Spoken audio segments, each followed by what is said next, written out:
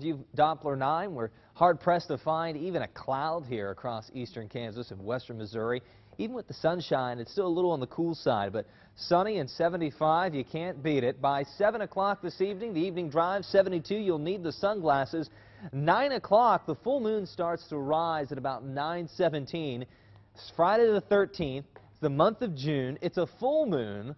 We call this the honeymoon. And because it will be so low on the horizon, it's going to be big. It's going to appear larger than a normal full moon. And it will also have an amber to honey hue to it because it's low on the horizon and some of the long wave lights being scattered by pollution and other things in the air. Go out and see it. Grab your honey, go see the honeymoon tonight. Won't happen again in the month of June until 2098. So you need to do it tonight. Heading into the weekend, I think the first part of the weekend will be dry, albeit windy for Saturday afternoon.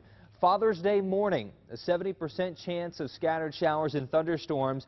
By Father's Day afternoon, Sunday afternoon, a 40% chance of seeing a scattered shower or thunderstorm, especially to the east of I-35, east of Kansas City for Sunday afternoon.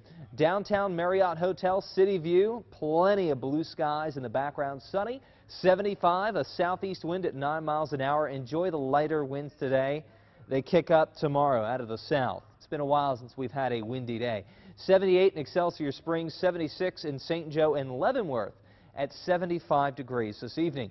Future scan, you'll have plenty of time to see the full moon tonight. No cloud cover expected until late tomorrow morning with some high clouds moving in. We'll still have a mostly sunny to partly sunny day for tomorrow, staying dry for much of the day until the evening and the overnight hours. We'll watch storms come out of Nebraska, Kansas, and Iowa. Going to be a tough day to the west tomorrow.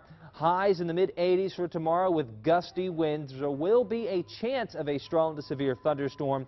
Saturday night, I think after midnight into early Sunday morning along and east of 35. Large hail and damaging winds will be the primary threat, as I mentioned earlier, out in Kansas and Nebraska. They will have a tornado threat. As the cool front comes through Sunday afternoon, this is going to be mainly south and east of Kansas City, so southeastern parts of our viewing area, Butler, Belton, Sedalia. A chance of a scattered shower or thunderstorm, possibly strong to severe, again with hail and damaging wind, the main threat.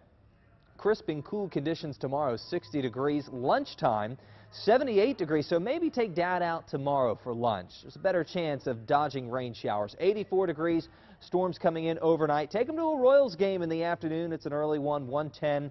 No problems, sunny, warm, and windy for that 110 first pitch. Sunday afternoon, a 40% chance of a scattered shower and storm. That 70 is for the morning hours. And then here comes summer-like heat to start off the work week. 90s there on Tuesday. The next storm system of significance coming through on Wednesday and Thursday. Okay.